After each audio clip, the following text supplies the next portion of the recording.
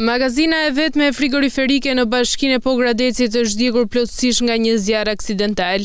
Zjarri ka ndodhur mëngjesin e së mërkurës në fshatin Petrush, ndërsa brenda saj kanë qenë 350 ton me mollë që ishin magazinuar. Sipas të dhënave zjarri është shkaktuar nga një shkëndijë elektrike, ndërsa është dashur ndërhyrja e mjeteve të shërbimit zjarrfikës të Maliqit dhe Pogradecit, por nuk kanë arritur ta shuajnë në kohën e duhur flakët e zjarrit. Ky frigorifer, sipas kryetarit të bashkisë Pogradec Ilir Xhakolli është i vetmi në të gjithë bashkinë, ndaj dhe për këtë, kryebashkiaku ka bërë me dije se është ngritur grupi i punës, për verifikimin e dëmeve dhe më pas do t'i kërkohet AZHBR-së, për dëmshpërblim. Bashkë me prefektin, po edhe me grupin e emergjencave, do bëjmë një relacion përkatës dhe do të shkojmë dhe të bisedojmë me Ministrin e Bujqësisë, me AZHBR-në sepse rastin në fjalë ka të bëjmë me pikë grumbullimi, i zoti e ka bërë vetë pa ndihmën e shtetit, kështu që do mundohemi të bëjmë maksimumin për ta mbështetur. Kjo magazinë frigoriferike është ndërtuar dy vite më parë, dhe mblidhte në një masë të konsiderueshme prodhimet e fermerëve të kësaj bashkie.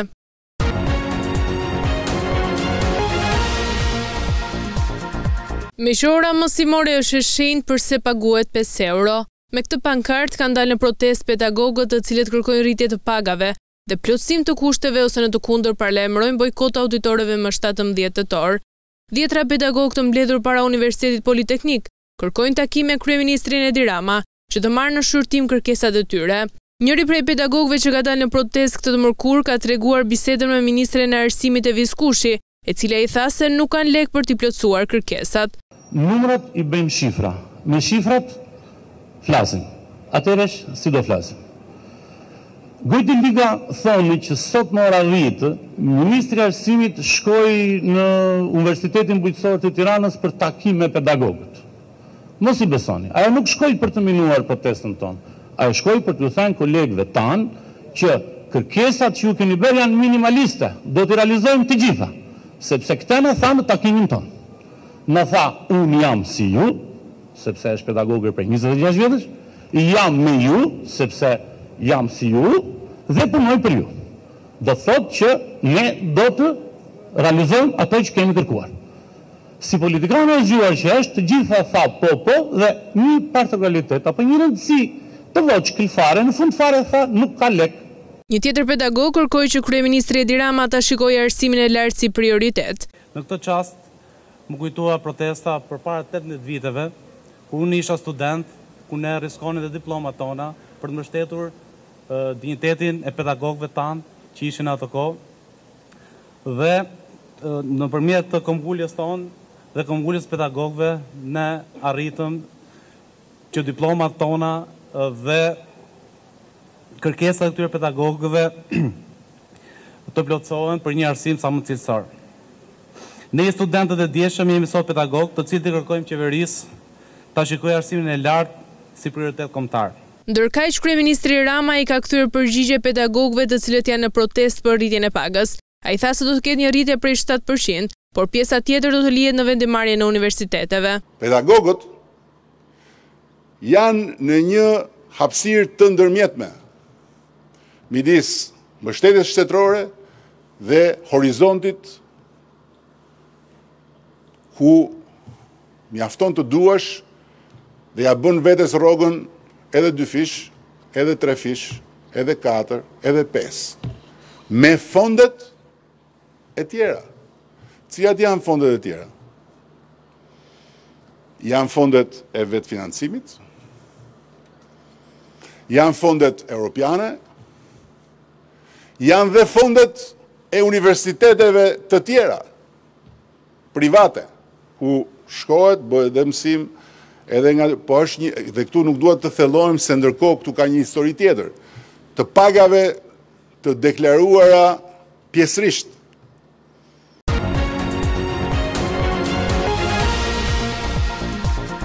Kryetari i Partisë Demokratike, Sali Berisha ka reaguar në lidhje me protestën e pedagogëve ku ka nënvizuar se mbështet kërkesën e tyre. Sipas Berishës, përgjigja e Ramës ndaj tyre ishte me qëndrim përçmues dhe me urrejtje.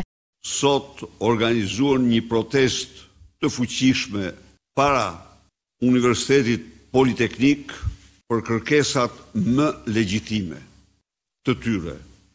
I garantoj se Partia Demokratike qëndron prapa çdo në mbështetje të çdo kërkese që ata sot i drejtojnë një qeverie Arrogante, mashtruese dhe hajdute. Kërkesat e pedagogëve, punonjësve dhe studentëve janë klithma të vërteta për të shpëtuar arsimin universitar në Shqipëri, i cili është në rrokullisje të madhe. Edi Rama është përgjigjur me një qëndrim cinik, urrejtës dhe përçmues sindikatave të arsimit të lartë dhe kërkesave të tyre. Ndërkaq, Berisha bëri thirrje që propozimet për reformën territoriale të diskutohen me të gjithë deputetët e Partisë Demokratike dhe me partitë aleate.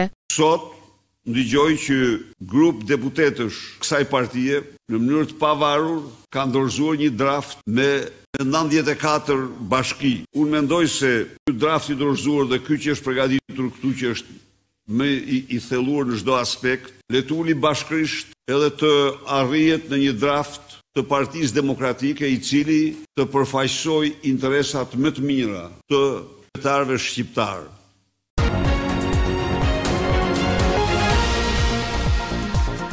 Qeveria ka vendosur këtë të mërkurë që të gjitha institucionet shtetërore të kursejnë pesëmbëdhjetë për qind të energjisë elektrike, duke bërë krahasim me një vit më parë. Vendimin e bëri të ditur ministrja e Energjisë Belinda Balluku. Bëmë disa ndryshime mbi projekt-aktin normativ për marrjen e masave të veçanta gjatë kohëzgjatjes së gjendjes së emergjencës në furnizimin me energji elektrike. Ky akt normativ, ashtu siç ju e dini, konsiston në përcaktimin e masave detyruese që do të ndërmerren gjatë gjendjes së emergjencës së energjisë elektrike, Për sa i përket institucioneve shtetërore, e kemi thënë këtë dhe më përpara që sigurisht ne duhet bëhemi shembulli i parë se si duhet kursyer energjia dhe sa e rëndësishme është kursimi i energjisë në këto momente. Për këtë arsye përmes këtij projektakti normativ ne kemi vendosur Një kërkesë për të gjitha institucionet shtetërore, të cilat duhet të kursejnë pesëmbëdhjetë për qind të energjisë së konsumuar me faturën e një viti më parë.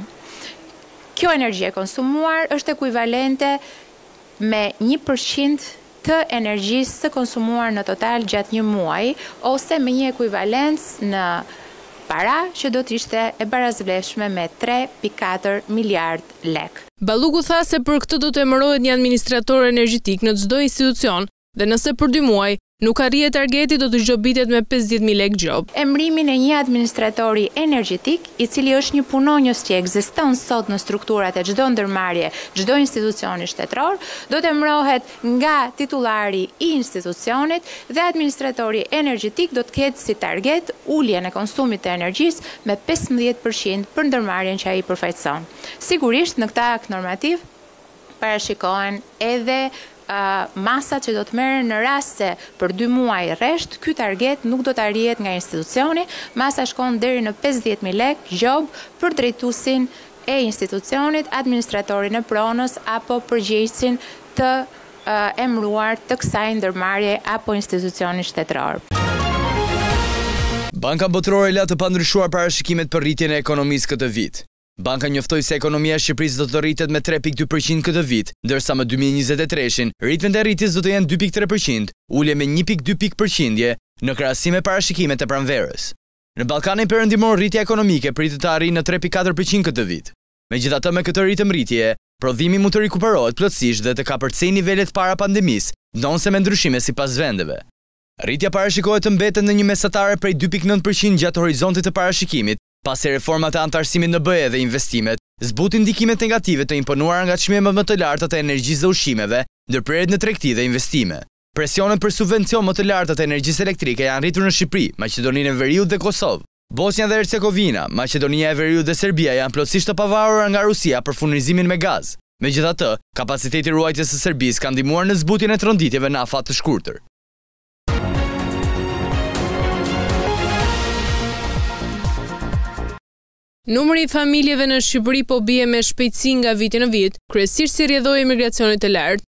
Nga të dhënat e Instat vlerësohet se numri i familjeve arriti vitin e kaluar në tre mijë e katërqind e dymbëdhjetë më pak se vitin dy mijë e njëzet.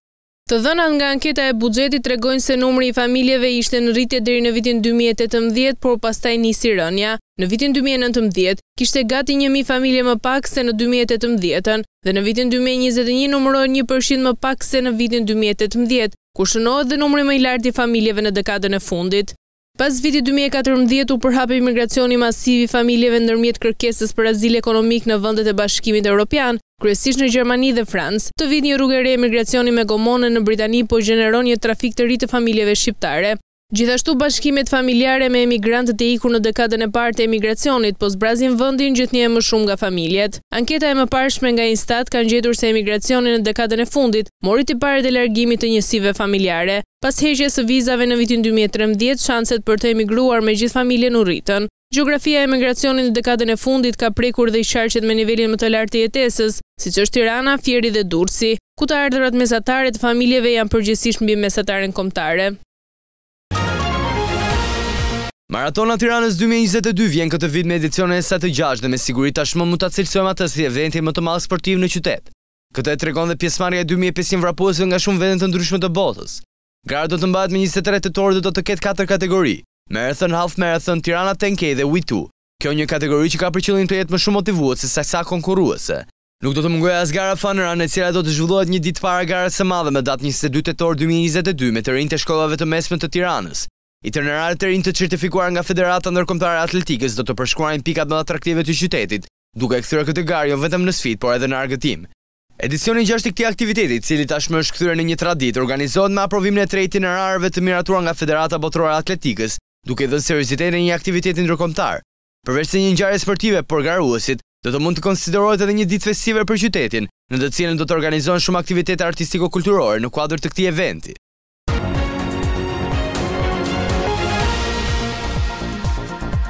Më 4 tetor, Lëvizja Vetëvendosje ka publikuar një video propagandistike në të cilën sulmohen figurat që kanë qenë në pushtet në vitet e kaluara, para se partia e Albin Kurtit të drejtonte qeverinë. Në mesin e këtyre figurave që sipas Lëvizjes Vetëvendosje kanë shkatërruar Kosovën, ishte edhe ish-kryeministri Isa Mustafa, për të cilin kjo video është sjellje idioteske. Në një prononcim, Mustafa tha se videoja e LVV-së është e ngjashme me atë të një bande të drejtuar nga e veja e Mao Zedunit, që organizonte dhe poshtronte figura të rëndësishme kineze. Në kohën e Revolucionit Kulturor Kinez, një bandë e drejtuar nga e veja e Mao Zedunit organizonte dhe poshtronte figura të rëndësishme kineze. Çdo gjë duket e ngjashme me videon e Vetëvendosjes. Mungon vetëm e veja e Maos, e cila më vonë përfundoi në burg për persekutimet që i bëri. tha Mustafa për media në Kosovë. Ish-kreu i LDK-së gjithashtu u shpreh se kjo video shpërfaq mënyrën më idioteske të mundshme sjelljen e një partie që ka fituar zgjedhjet në një shoqëri demokratike. Në videon e publikuar nga Vetëvendosja shihen dhe ish-presidenti Hashim Thaçi, ish-kryeparlamentari Veseli, ish-kryeministri Haradinaj, ish-ministrat Fatmir Limaj, Behgjet Pacolli, Lumir Abdixhiku dhe Memli Krasniqi. Shkatërruesit e shtetit që nuk duan ta shohin Kosovën mirë për njëzet vite kanë qeverisur vendin, herë pas here me njëri-tjetrin, formalisht të ndarë në parti të ndryshme, por praktikisht me një qëllim, rreth Kosovës të përbashkuar që e shihnin si një tender, ryshfet, haraç, krim dhe korrupsion, komentohet ndër të tjera në video.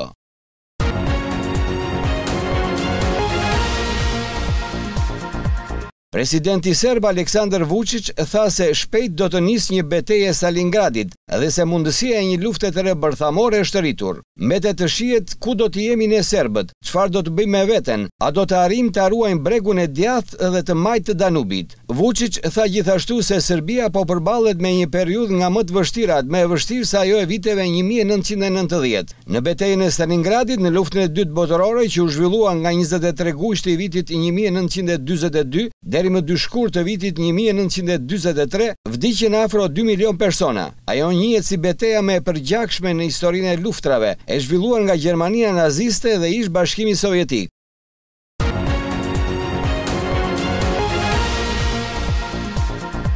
Presidenti francez Emmanuel Macron ndodhet për vizitë në Berlin, ku u takua me kancelarin gjerman Olaf Scholz, për të diskutuar zhvillimet e fundit në lidhje me luftën në Ukrainë dhe krizën energjetike europiane. Një nga objektivat e takimit është përafrimi i qëndrimeve të Francës dhe Gjermanisë në kuadër të samitit joformal të liderve të BE-së, i cili do të mbahet në Pragë në ditët në vijim. Ndërkohë komisioneri europian për çështjet ekonomike, Paolo Gentiloni, kritikoi troç planin dyqind miliardë euro të iniciuar nga Gjermania për të ulur çmimin e gazit.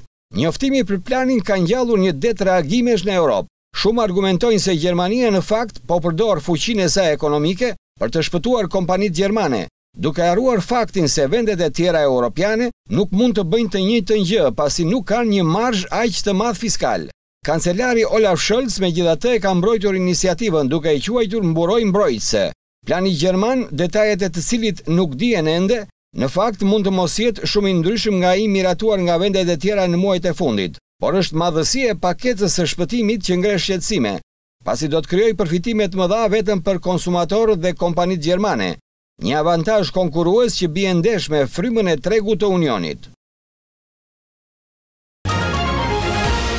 A është farsa e referendumeve ruse në rajonet lindore të Ukrainës e para e një serie? Ndoshta, të paktën për faktin se kufijtë e rajoneve të aneksuara nuk janë të qarta, dhe kjo sipas vetë Kremlinit, siç konfirmohet nga zëdhënësi Dmitri Peskov, i cili përsëriti faktin se republikat e vetëshpallura të Donetskut dhe Luhanskut janë pjesë e Rusisë sipas kufijve të vitit 2014. I pyetur nga gazetarët, Peskov nuk i zgjidhi nyjat dhe nuk mundi të thotë se ku shtrihen kufijtë e territoreve ukrainase të aneksuara së fundmi. I pyetur nëse zonat e këtyre rajoneve që janë nën kontrollin e Kievit konsiderohen ruse nga Kremlini, zëdhënësi iu përgjigj, Nuk kam asgjë më shumë për të shtuar tani.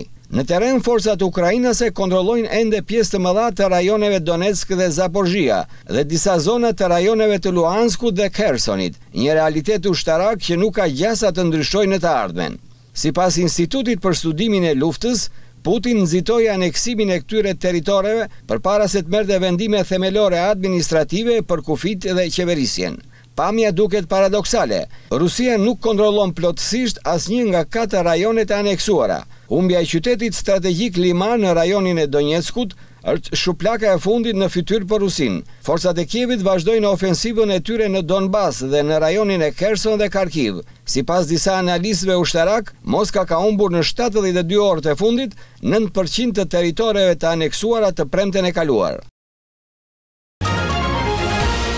Pasi ka sanksionuar Iranin, presidenti amerikan Joe Biden premton sanksione të tjera kundër autorëve të dhunës ndaj protestuesve paqësorë në Republikën Islamike. Presidenti i Shteteve të Bashkuara tha se ishte shumë i shqetësuar nga lajmet për dhunën e ushtruar ndaj protestuesve, përfshirë studentët dhe gratë. Zëdhënësja e Shtëpisë së Bardhë, Karine Jean-Pierre, u shpreh se SHBA është shumë e shqetësuar për arrestimet masive. Gjithashtu ka reaguar dhe kryetarja e Parlamentit Europian, Roberta Metsola, në një fjalim të mbajtur në Strasburg. Nga Teherani, lideri suprem i Iranit, Khamenei, fajësoi Shtetet e Bashkuara dhe Izraelin për protestat që përfshinë vendin pas vdekjes së njëzet e dy vjeçares, e cila ra në koma vetëm disa orë pasi u arrestua nga policia e moralit më trembëdhjetë shtator. Faji i gruas së re ishte se kishte thyer ligjin e rreptë që kërkon që gratë të mbulojnë flokët me një mbulesë islame. Një tufë flokësh për gratë e Iranit, vizitorët në Maxi, Muzeu i Arteve të Shekullit të Njëzet e Një në Romë, lënë me dëshirë një tufë flokësh në një kuti transparente, si shenjë solidariteti me gratë iraniane. Kutia e mbushur me flokë do të dorëzohet në ambasadën iraniane në Romë. Giovanna Melandri, presidente e Fondacionit Maxi, ish-ministre italiane e trashëgimisë kulturore gjithashtu bëri të njëjtën gjë, Gratë iraniane duhet të dinë se nuk janë vetëm. Ato duhet të dinë se ajo që kërkojnë, të cilat janë të drejtat themelore të njeriut, është diçka për të cilën duhet luftuar. Kjo protestë simbolike e cila pason protestat e tjera fundjavën e kaluar, po përhapet në shumë qytete italiane si kundërpërgjigje ndaj vdekjes në burg të Mahsa Amini, Një vajzë njëzet e dy vjeçare iraniane e arrestuar për mosmbajtjen e mbulesës. Për shkak të protestave të dhunshme që po zhvillohen në të gjithë Iranin, regjimi i presidentit Ebrahim Raisi tani është në vështirësi të dukshme para botës. Irani është një vend që ka investuar shumë në arsim dhe trajnim. Ky është një fakt shumë i rëndësishëm pasi revolta mund të mos i lërë indiferentë të rinjtë iranianë, sidomos studentët. Maksimumi nëntëmbëdhjetë gradë, është kjo temperaturë që duhet të ketë në ndërtesat publike në Danimarkë, ashtu si edhe në vendet e tjera evropiane. Është e nevojshme të kursehet energji gjatë stinës së ftohtë për shkak të krizës. Shumë në Kopenhagen e pranojnë masën vetëm përmes dhëmbëve të shtrënguar. Dimrin e kaluar, kur dhe nuk kishte asnjë detyrim për të kursyer energji, ishte shumë ftohtë në klasë, pavarësisht përdorimit të ngrohësve, thotë mësuesja e një shkolle fillore në Broadway, afër kryeqytetit. Duke shtuar, Tani duhet t'u shkruaj prindërve se do të ishte ide e mirë që fëmijët të vishnin diçka shtesë, pantofla, çorape apo pulovër. Nuk dihet ende se për sa kohë do të qëndrojë në fuqi në Danimarkë urdhëresa për kontrollin e temperaturës, e cila ka hyrë në fuqi nga një tetori. E sigurt është se ky dimër do të na bëjë të dridhemi. Këtë lëmsh me kabllo do ta zëvendësoj me këtë. Ishte eurodeputeti maltez ai që raportoi se me një shumicë absolute, gjashtëqind e dy vota pro, trembëdhjetë kundër dhe tetë abstenime, Parlamenti Europian aprovoi një karikues të vetëm për të gjithë telefonat celularë dhe pajisjet elektronike në madhësi të vogla, si për shembull tableti. Deri në fund të vitit dy mijë e njëzet e katër, për t'i rikarikuar të gjitha këto, do të mjaftojë një kabëll i vetëm me kokë USB-C, i cili nga viti dy mijë e njëzet e gjashtë do të bëhet normë dhe për laptopët. Pjesa e fundit që mungon është drita jeshile nga qeveritë e Bashkimit Europian, që pritet të ndizet në fund të tetorit. Më pas, pas miratimit zyrtar të direktivës, njëzet e shtatë vendet anëtare do të kenë dymbëdhjetë muaj kohë për ta transportuar atë në legjislacionin kombëtar dhe dymbëdhjetë muaj të tjerë për të zbatuar rregullat. Me pak fjalë, kabllot dhe pajisjet e papërshtatshme i kanë ditët e numëruara. Legjislacioni i ri do të prekë të gjithë prodhuesit e pajisjeve elektronike të shpërndara në tregun europian, tashmë të thirrur për të adoptuar një teknologji të vetme standarde. Nuk është mister që kompania më e prekur në interesat e saj nga ky rregull është Apple.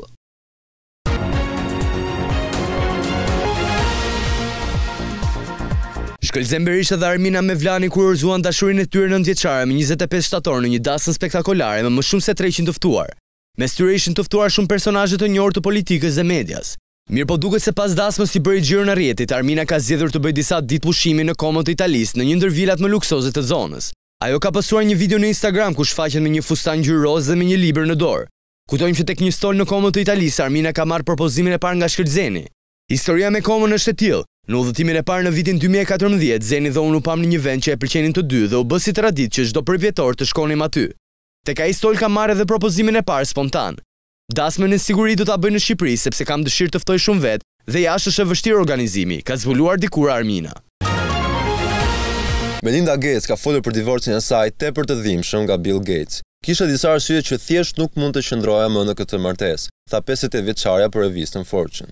Por gjëja e çuditshme është se me koronavirusin m'u dha mundësia të bëja atë që duhet të bëja. Ishte tepër e dhimbshme në mënyrë të panumërta, por unë kisha privatësinë për ta takuar atë, vazhdoi ajo. Melinda dhe Bill, gjashtëdhjetë e gjashtë vjeç, u martuan në vitin një mijë e nëntëqind e nëntëdhjetë e katër dhe ishin së bashku për njëzet e shtatë vite përpara se të ndaheshin në maj dy mijë e njëzet e një. Ata kanë tre fëmijë së bashku, Jennifer, njëzet e pesë vjeç, Rory, njëzet e tre vjeç, dhe Phoebe, nëntëmbëdhjetë vjeç, që ishin gjithmonë prioriteti i Melindës kur vendosi të divorcohej. Ish-çifti gjithashtu themeloi fondacionin Bill dhe Melinda Gates në vitin dy mijë dhe vazhdoi ta drejtojë atë së bashku pas ndarjes së tyre, gjë që Melinda thotë se e ka ndihmuar të përpunojë ndjenjat e saj. Në vitin dy mijë e njëzet e një u zbulua se Bill kishte qenë në një lidhje afatgjatë me një punonjëse të Microsoft-it që nga viti dy mijë.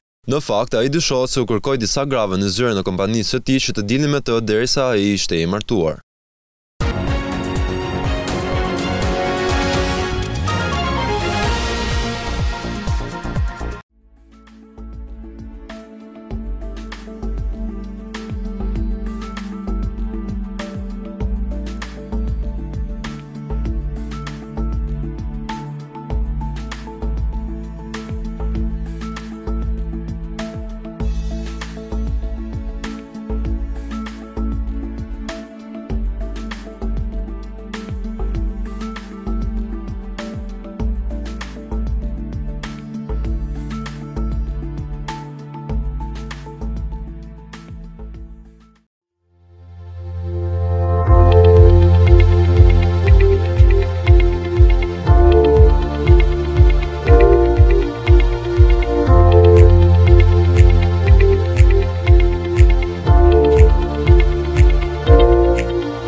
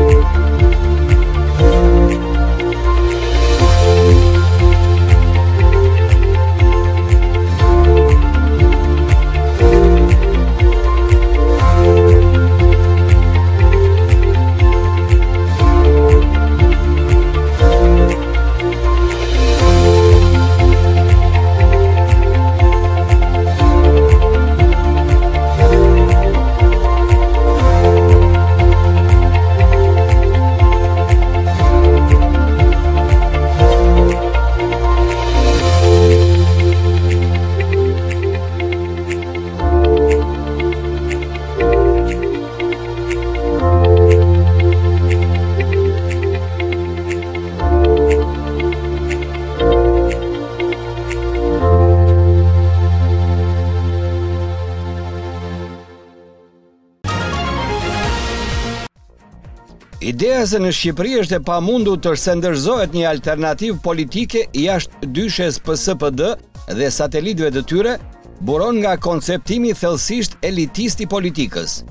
Sipas narrativës elitiste, një elitë e keqe mund të zëvendësohet vetëm me një elitë më të mirë. Ndaj për sa kohë nuk del një alternativë bindëse ndaj PS-së dhe PD-së, Jemi të detyruar të votojmë për këto të fundit. Duhet pritur dalja e një elite superiore ndaj kësaj që kemi, që elektorati të ndryshojë mënyrën se si voton. Sipas kësaj logjike, ndryshimi në Shqipëri mund të ndodhë vetëm nga lart, pra nga oferta politike, dhe jo nga poshtë, domethënë nga kërkesa e elektoratit. Po cila është alternativa apo elita e re që pritet të shfaqet në horizont? Është pikërisht e kundërta e partive tradicionale. Ajo është plot njerëz të rinj por me eksperiencë, që nuk kanë qeverisur kurrë, por që ofrojnë alternativë qeverisëse. Kaq mjafton për të kuptuar që në fakt na ftojnë të presim Godonë ose një elitë që vjen nga Marsi. Në një sferë publike dhe politike të kontaminuar me akuza, mllef, vrer, korrupsion dhe baltosje pa fund, një alternativë e tillë nuk do të dalë kurrë.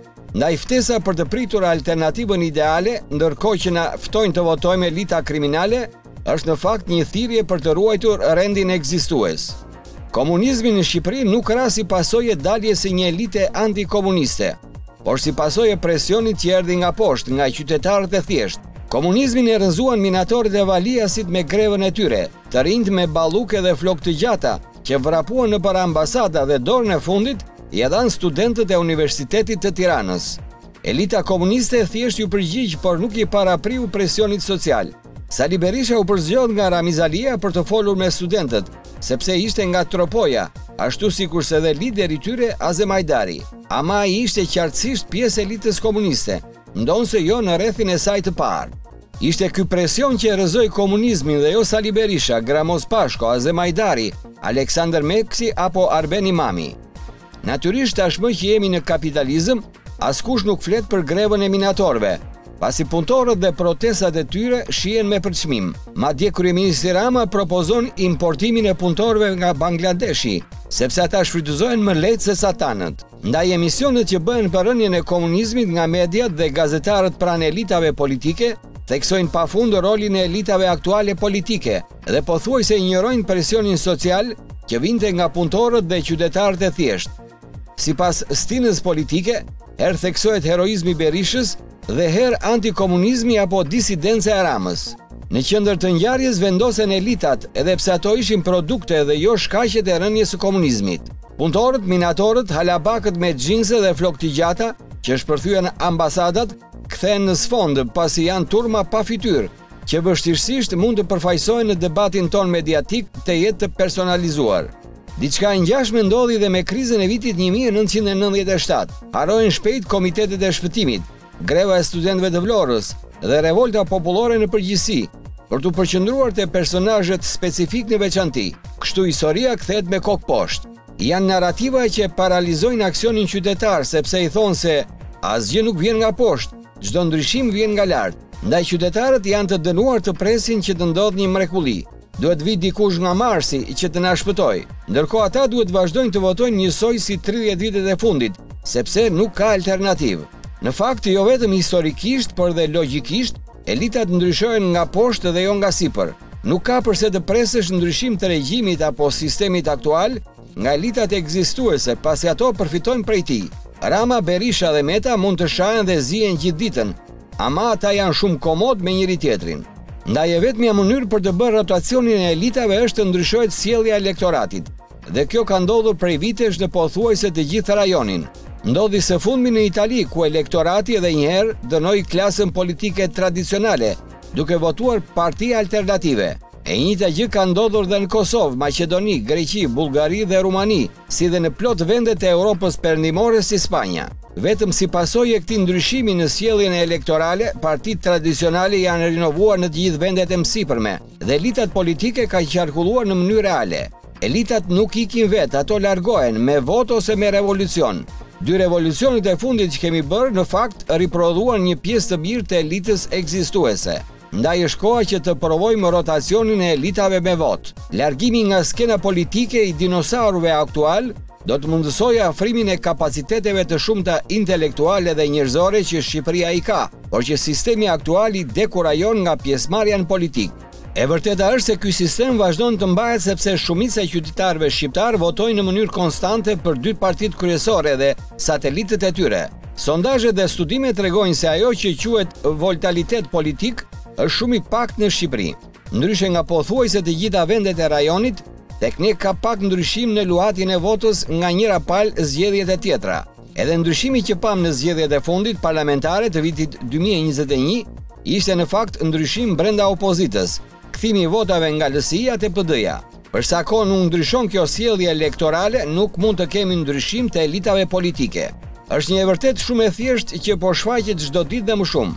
Këta që na duken sot si elita të përjetshme dhe të pathyeshme, në fakt pushtetin e marrin nga vota jonë.